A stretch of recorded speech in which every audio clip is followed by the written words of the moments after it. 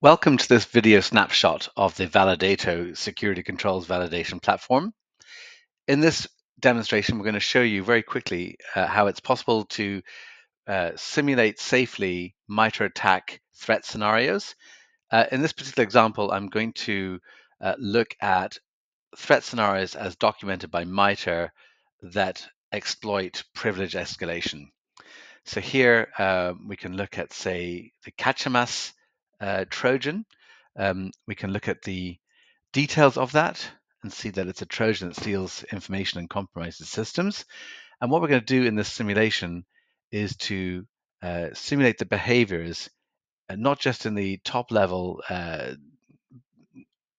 threat scenario, but also the uh, the multiple other sub scenarios. That maps obviously to MITRE ATT&CK uh, like so.